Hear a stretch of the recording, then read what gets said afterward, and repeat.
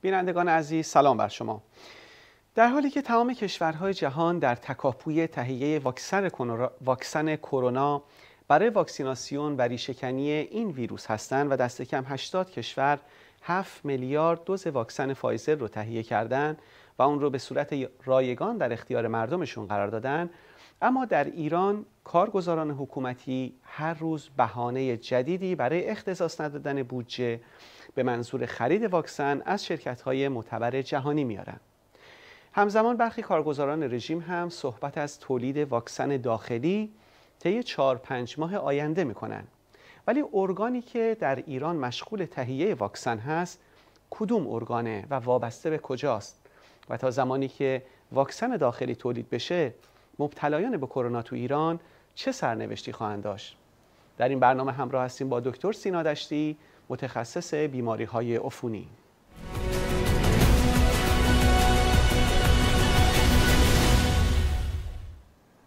دکتر دشتی به شما خوش آمد میگم. می‌خواستم قبل از ورود به بحث واکسن کرونا ابتدا برامون مختصری درباره شیوع این کرونا جدید یا به نوعی میگن جهش یافته که الان تو انگلیس یا برخی کشورهای دیگه هم هست تو این رابطه برامون بیشتر بگین.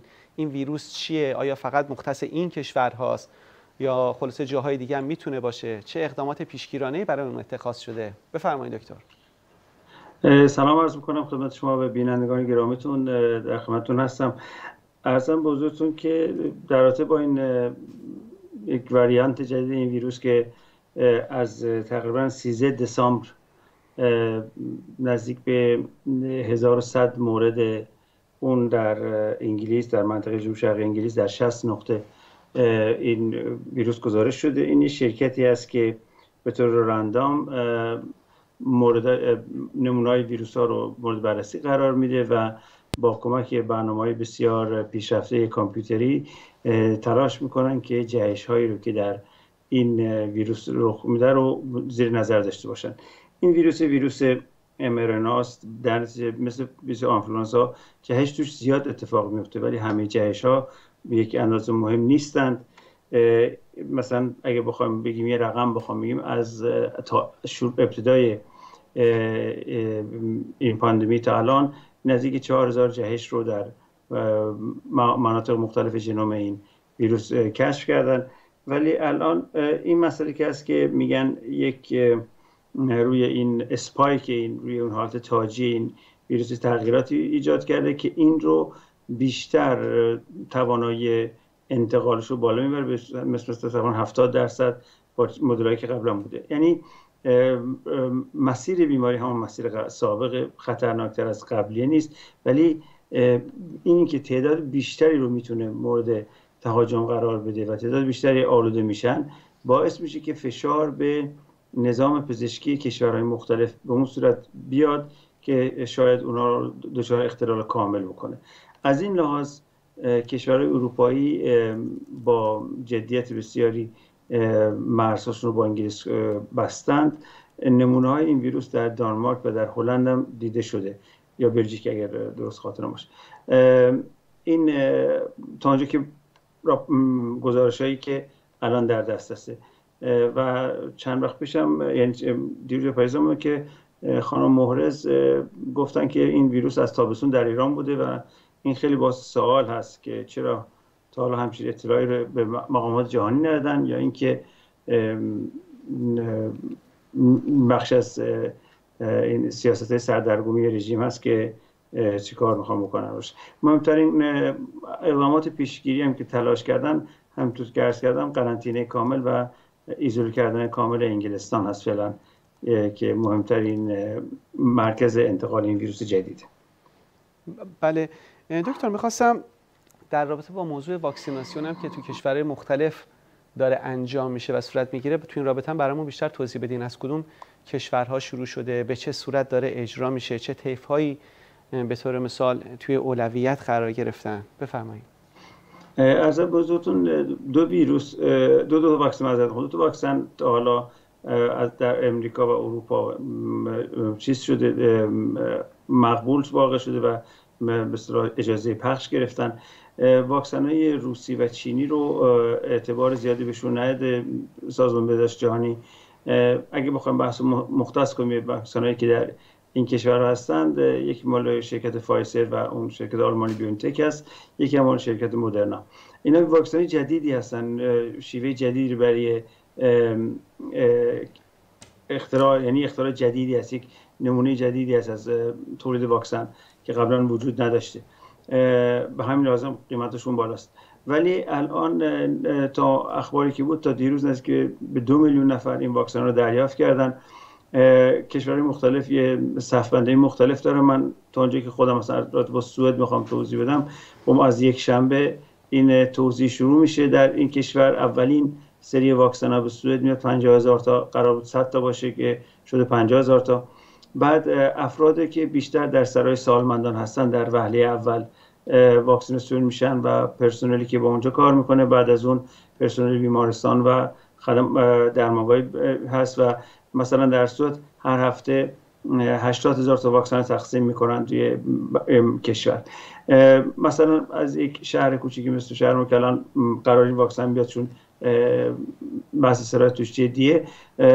از ما لیست گرفتن چند نفر در سرای سالمندان. زیر پوشش این درمانگاه است چند نفر افراد بالای 70 سال چند نفر اونایی که بیماری زمینی دارن و بر اساس اون لیستی که ما تهیه می‌کنیم برشون میدیم اینها واکسن رو تقسیم خواهند کرد.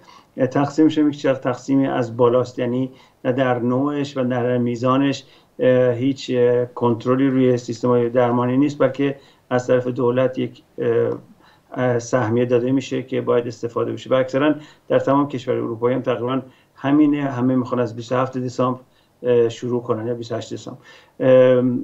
این یک لوجیستیکی عظیمی رو در کنار خودش در بر داره و تا اونجایی که ما می‌دونیم میزان واکسنی که تا حالا تقریبا تحصیل شد تقریبا نزدیک 1.8 تا دو میلیون دوز واکسن بوده که بیشترینش مال فایزر. بله. دکتر یک موضوعی که یا یک سوالی که تو در تو همین موضوع واکسن مطرحه اینه که خب سرعت ساخت این واکسن جدید خیلی سریع بوده. آیا تو در ساختن اون ایمنی و دقت به نوعی فدای سرعت برای دستیابی هرچه سریعتر به راندمان اون یعنی خلاصه رسیدن به واکسن کرونا انجام نشده. چون در گذشته نگاه می‌کنیم ساخت واکسن مثلا برای یک اپیدمی بر مقابله با اون مدت ها طول می‌کشید طول می‌کشید سالیان طول می‌کشید. ولی این بار ظرف کمتر از یک سال چنین واکسنی تولید شده. نظر شما تو این رابطه چیه؟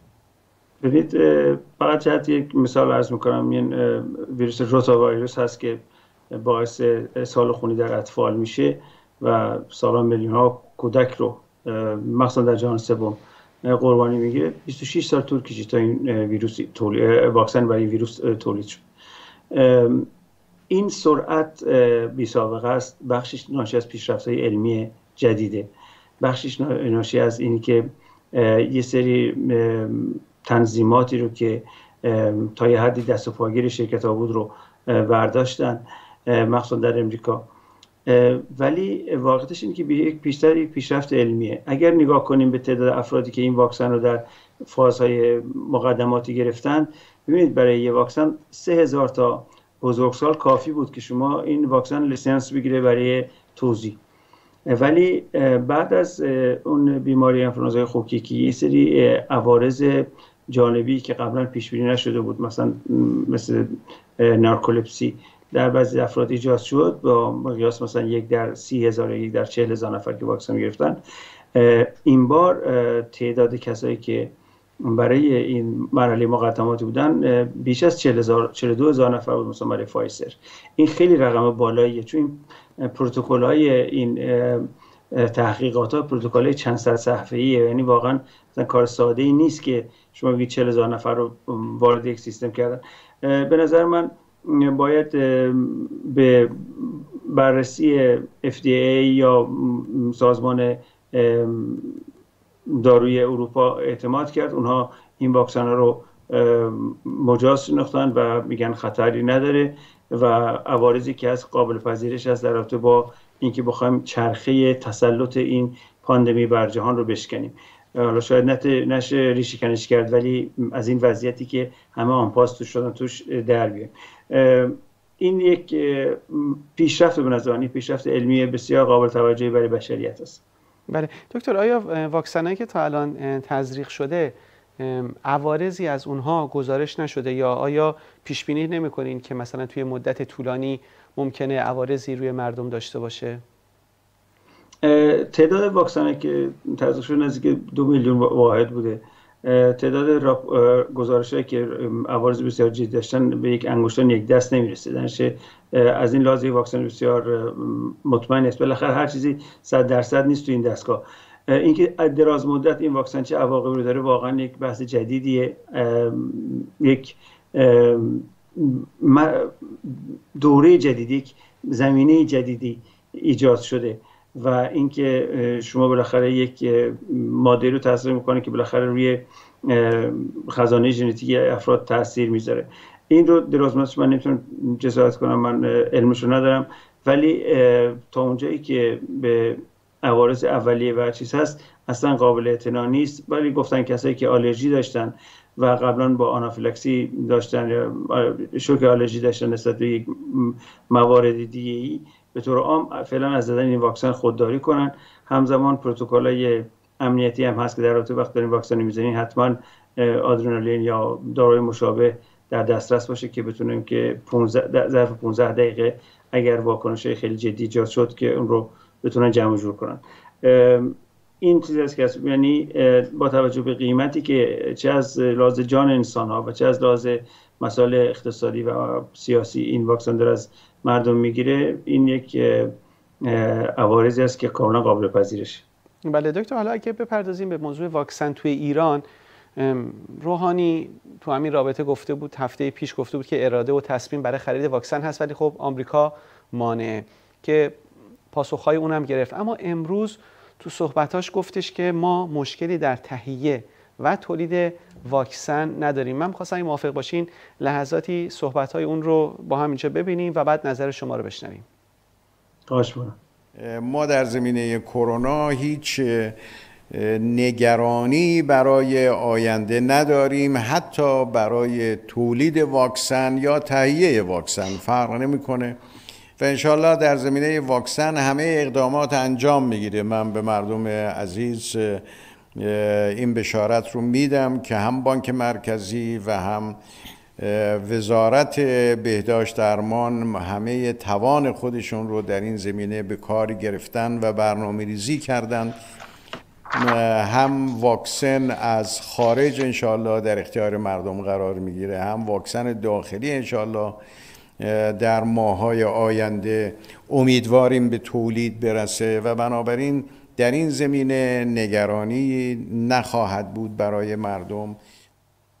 بله. دکتر میگه واکسن از خارج تهیه خواهد شد. نمیگه چه زمانی و از کدوم کشور از کدوم شرکت.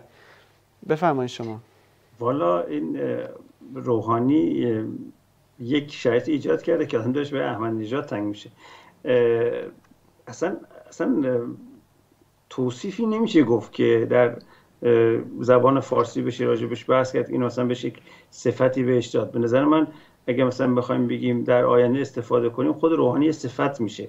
مثلا میگن طرف وقیه مثل روحانی دروغگو مثل روحانی چیز اینجوری. یعنی واقعا حرفایی که می‌زنه فقط به نظر من ناشی از یه چیزه. این که اولا که برای خودشون واکسن خریدن تهیه کردن همه همه خودشون هم زدن. به تمام ردای بالای حکومتی زدن. این بلا شک این می‌تونه باشه.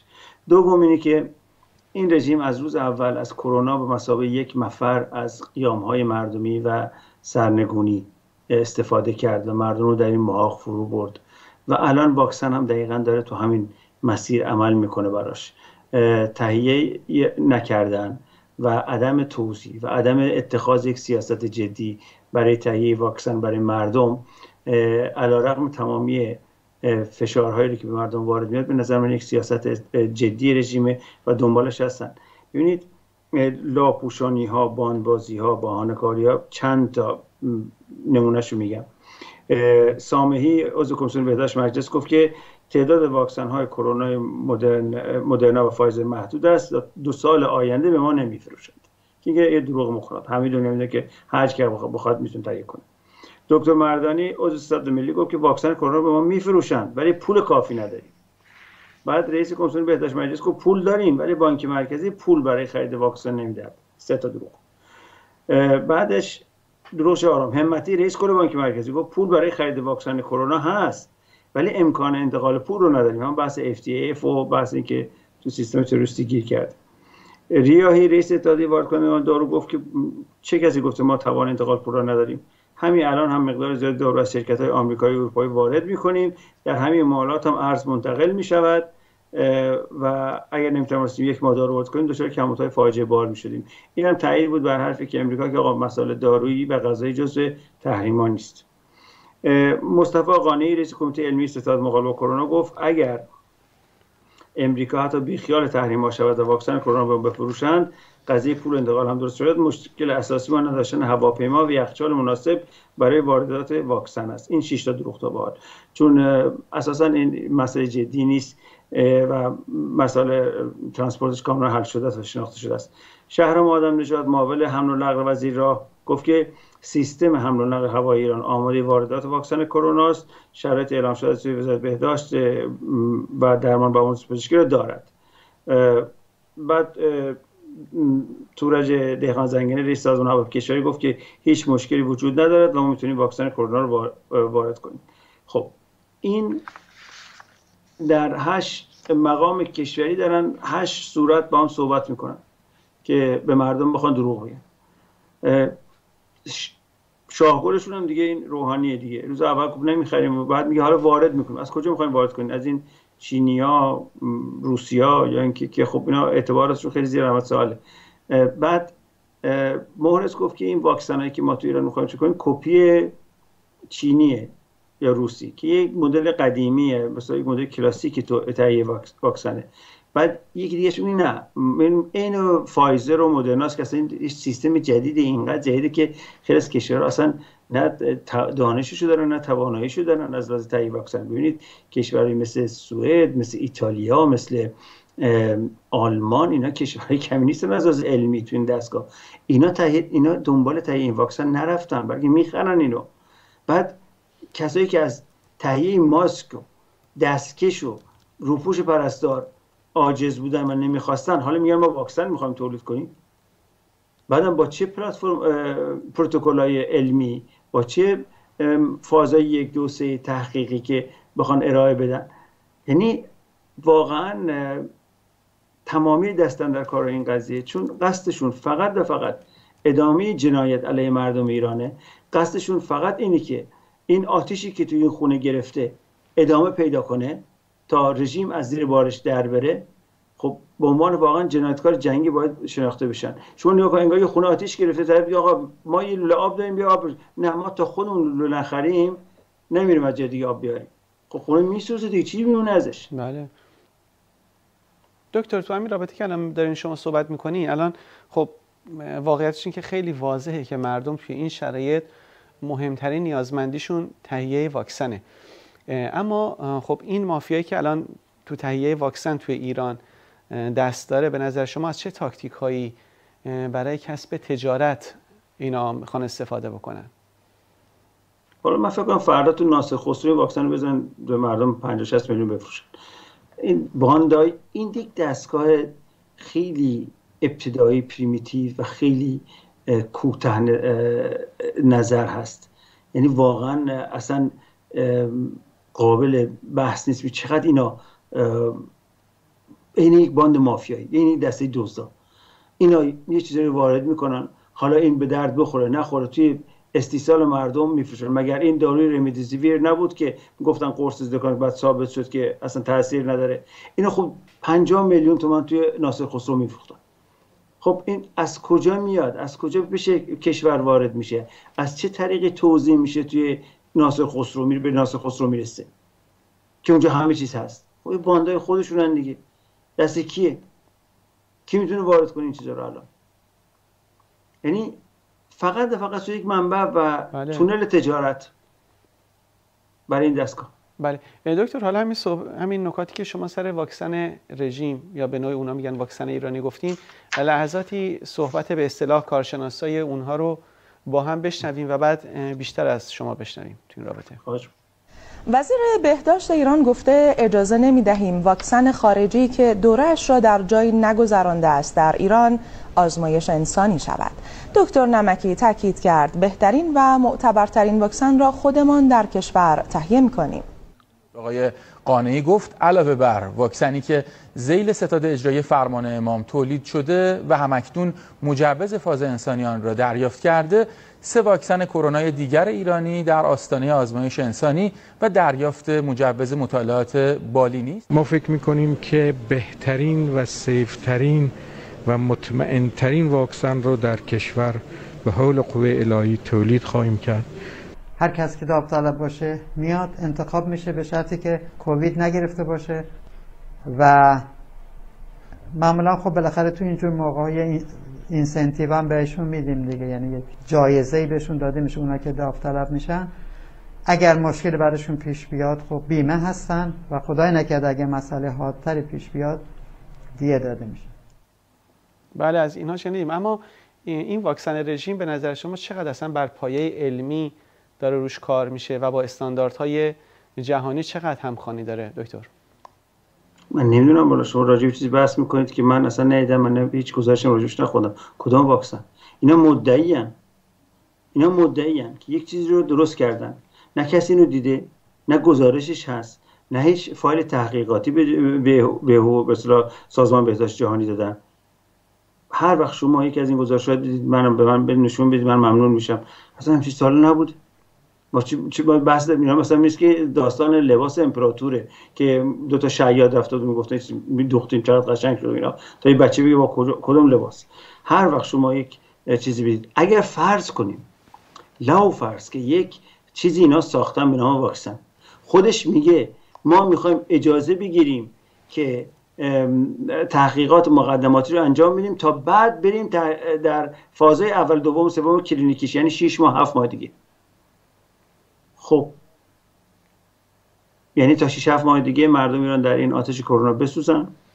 واکسنی که نزدیک یک میلیارد جمعیت دنیا الان ازش داره استفاده می‌کنه رفته برای خریدش رفته و پذیرفته و احساس مود که واکسن مناسبی است رو ما وارد نمی‌خوایم بکنیم. نمی‌خوایم بخرد مردم ایران نیازی نداره به این چیزها شما مثلا به حول قوه قلمی چیز میشه خیلی خوب میشه همچیز درست میشه. یعنی واقعا واقعا جنایت واقعا جنایته. هیچی دیگه غیر از جنایت در حق مردم ایران نیست. بله. دکتر کمی بپردازیم به نکات و کامنت های بیننده هامون و همینطور سوالاتی که اونا از شما دارن. هموطنی گفته که رژیم امسال واکسن آنفولانزا رو توضیح نکرد. نه تولید داخلی و نه وارداتی اینها نه می‌تونن و نه می‌خوان مردم رو واکسینه کنن. هموطن دیگه گفته که ناصر خسرو فروشنده هاش اکثرا وزارتی هن. یکی دیگه گفته که از قبل هم مشخص بود که اگر واکسنی روی میز روزی کشف بشه مردم ایران بهره از اون نخواهند برد و تا این نظام ضد مردمی هست کرونا هم هست و تلفات هم هست. یکی دیگه گفته که دروغگویی بین سرای رژیم مصریتر از کروناست هموطنان به شما بسیار سلام رسوندن تو کامنت هاشون و اینکه در تلاشید برای مردم که من دیگه مختصر کردم اینا رو. یکی دیگه گفته که در ایران با وجود آخوندها وضعیت بیماری کرونا بهتر نمیشه. هیچ تضمینی برای امنیت ایمنی و اقتصاد بهتر نیست و کشور هر روز در جهنم آخوندها فرو میره.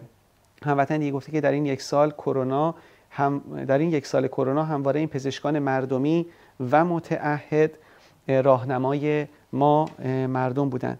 یکی دیگه گفته که چهل سال فقط دارن از جون مردم مایه می‌ذارن چه توی جنگ چه تو و چه توی بقا و چه تو بیماری.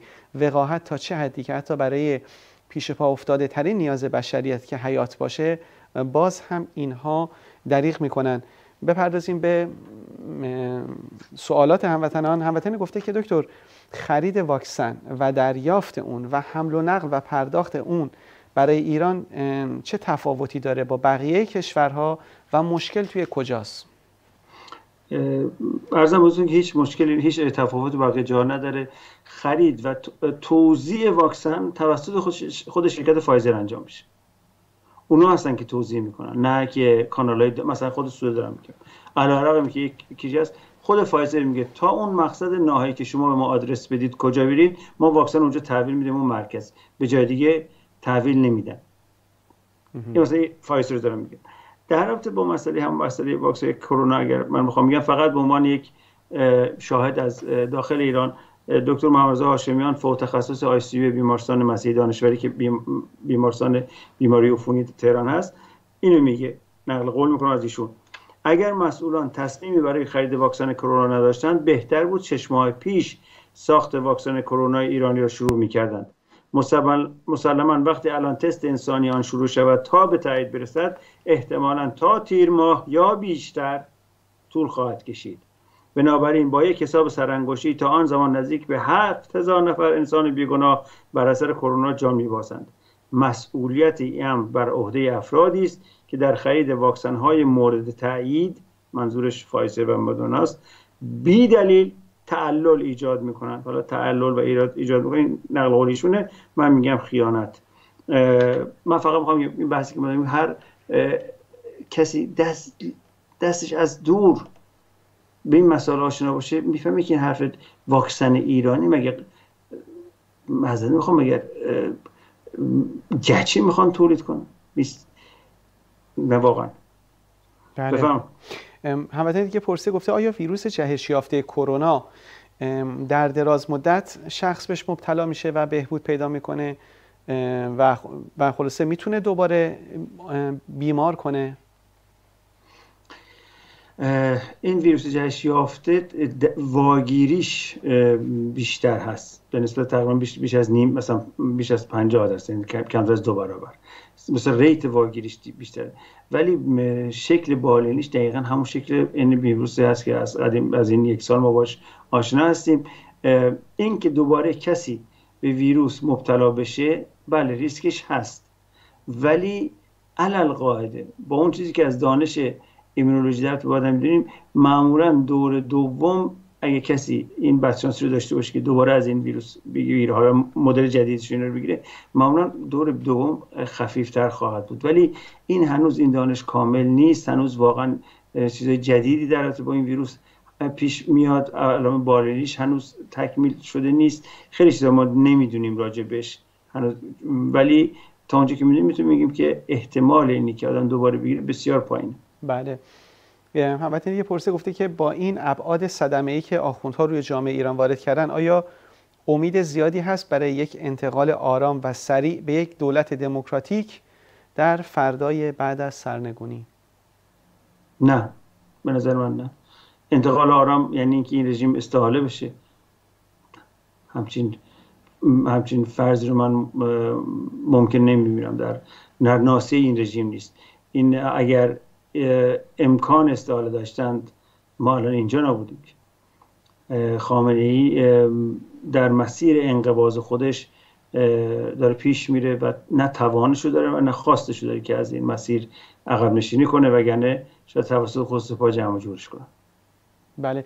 دکتر در دقایق پایانی هستیم. من می‌خواستم از شما این سوال پایانی رو بپرسم که به نظرتون تعلل کارگزارای رژیم از ابتدای شروع شیوع کرونا و شروع اون اگه بخوایم نگاه کنیم برای مقابله با این ویروس الان هم این تعلل رو برای واکسینه کردن مردم داریم می‌بینیم. این فقط جنبه سودجویی برای اونها داره یا اهداف دیگه هم می‌تونه پشت پرده باشه؟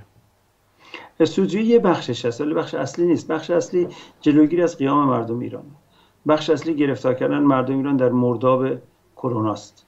یک تاکتیک استفاده از امواج انسانی هم که رهبر مقامات ایران آقای خیلی به روشنی روش تاکید کردن و دست گذاشتن. تاکتیک امواج انسانی جنگ رو الان به این صورت دارن که با تلفات عمیق انسانی بتونن برای خودشون زمان بخرن و فرجه بگیرن. فقط سوجویی نیست نه. اهداف اولیش و مقدمش فقط حفظ حاکمیته. اینو خیلی مختصر می‌تونم عرض کنم بله در پایان هم دکتر کامنت های بسیاری هست از تشکر از شما از مایه گذاریتون و خلاصه درود فرستادن به خاطر نکاتی که میگین و آخوندها رو افشا می‌کنین فریب های اونها رو. دیگه من کوتاه می‌کنم این کامنت ها رو ولی ازتون خیلی سپاسگزارم که دعوت ما رو پذیرفتین تو این گفتگو شرکت کردین. از مطالب و نکاتی هم که پیرامون واکسن برامون توضیح دادین. خیلی ممنون دکتر و خدا نگهدارتون. خدا نگهدار شما شرمنده که می‌کنید واقعا. در اختیار در خدمت خواهش می‌کنم.